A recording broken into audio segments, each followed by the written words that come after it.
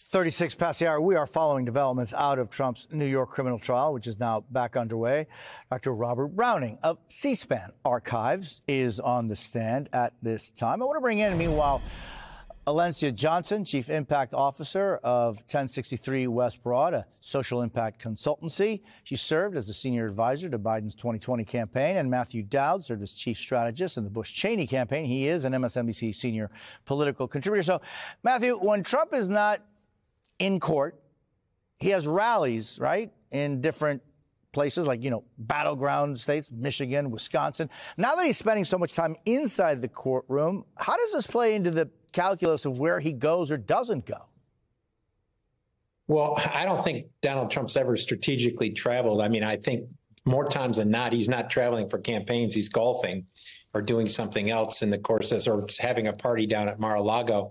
I think many times, and having been through this, President uh, visits on presidential campaigns are overestimated these days on the impact they actually have. I think these have become national campaigns, and so your national voice is way more important than an individual going to Grand Rapids, for instance, and having some serious impact on Michigan. What you might say in California has as much impact on Michigan as what you might say in Grand Rapids. And so I don't think it's going to have that much impact. It doesn't seem to have had that so far, thus that much impact on this race in the battleground states and in nationally in this. We have a very competitive race.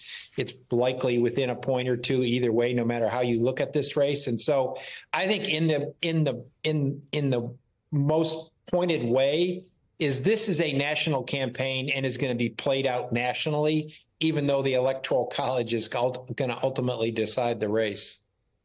And you know, Alencia, in an interview, in a long interview with Time magazine, Trump said all kinds of things, but but specifically, he said he would rely mostly on the National Guard to remove undocumented migrants from the country. Quote, if they weren't able to, the National Guard, then I'd use other parts of the military. Just wondering, Alencia, this is such a an issue that Trump repeats over and over again. But in this Time magazine interview, he said that in his plans was to build new migrant holding centers so that millions of people could be deported. I'm just wondering is this clearly the former president thinks so a winning strategy? The saddest thing is that for the extreme right base that he has, it does help him but for people who want comprehensive immigration reform, which we know that it's been hard for any president to solve, this is not the way that they want to approach immigration. But the reality here is Donald Trump is making it very clear that he wants to weaponize the federal government against anyone he disagrees with or anyone that he does not like. And so people who believe that folks have the right to migrate, the right to refuge, they should be extremely concerned because if he's making these claims against immigrants and refugees, he's also made these kinds of claims against protesters, against anybody that disagrees with him. We better believe that Donald Trump will not only figure out how to do it, but he will do it even more egregiously than he's describing in that interview.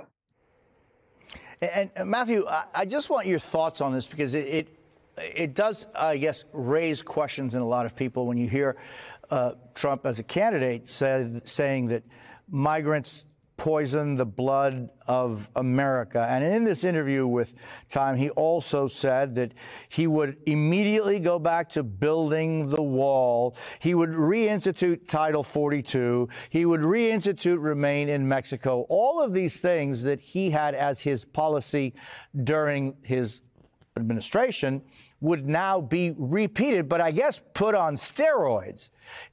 Again, Matthew, what are your thoughts as far as what he thinks this will get him politically? he, he appeals to the worst instincts of the American Republic. Um, I mean, and and I can't believe that we're having this conversation in this time and in this age in the 21st century or the 22nd century or whatever the whatever in 21st century we're in.